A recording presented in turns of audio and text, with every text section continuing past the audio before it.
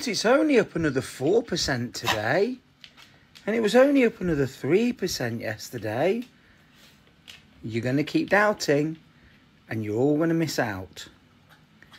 Bitcoin is not going to make you rich now. It might 2x, maybe 3.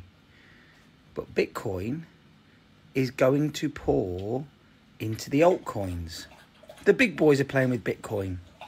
That means retail investors like you and me that know what they're doing are going to start taking profits from Bitcoin, which isn't going to affect its price because BlackRock are buying more Bitcoin than there is available.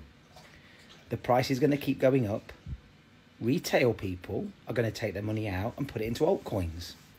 And some of those altcoins are going to 100x, which means if you pick the right horses, your £1,000 can quite easily turn into £100,000 in the next 12 months.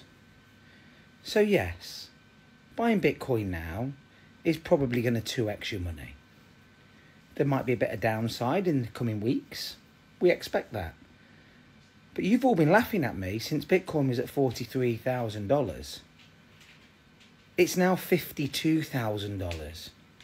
So even if you'd have bought a little bit a couple of weeks ago when I was talking about it, you'd all have made money, but you do you, and I'll do me. 52k. All the haters are going to go, well, it's not really 52k.